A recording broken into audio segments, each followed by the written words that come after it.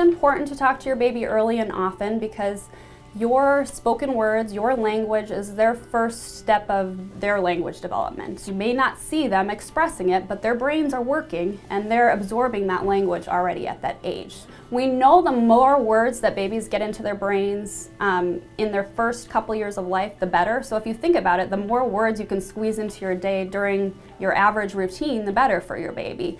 So if you can talk to your baby while you're changing their diaper or while you're driving them in the car, in their car seat, or while you're putting on their clothes or you're going for a walk, that's more words that you're putting into their brains and the more that they're going to be developing their language. Same thing goes with reading. I think trying to schedule or set aside time every day, once or twice a day, to just have a habit or a routine of reading to your baby is really important.